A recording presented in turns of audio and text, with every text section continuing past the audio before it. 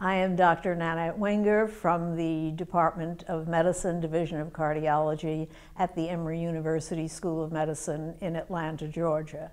And it was my privilege to deliver the opening plenary lecture in memory of Dr. Jeremy Swan. I chose to discuss gender disparities in coronary heart disease.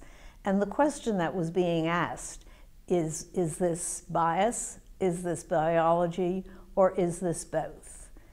And as background, women have traditionally been underrepresented in any of the studies that involve the recognition and the management, and indeed the prevention of coronary disease. We women are more complex.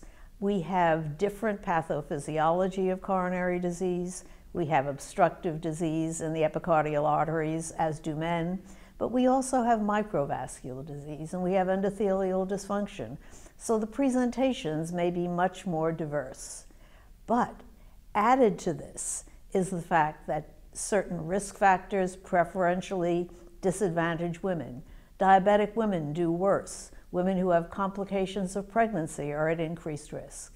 And what we see with acute coronary syndromes, with myocardial infarction, is that women are not treated typically according to the guideline directed medical therapies. They receive fewer diagnostic procedures, less prompt diagnostic procedures than do men, and as a result, there are adverse outcomes.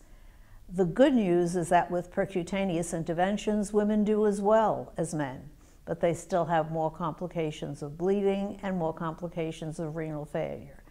We have great concern that the young woman, the woman younger than age 50, has worse outcomes with both myocardial infarction and with coronary bypass surgery than the young men. So to put this together, certainly there are contributions of the pathophysiology, of the biology. Women are different, but there is major bias in terms of the recognition and the management. And attention to this and recruitment of women into clinical research studies and into registries has the potential to improve the outcomes for coronary heart disease in women.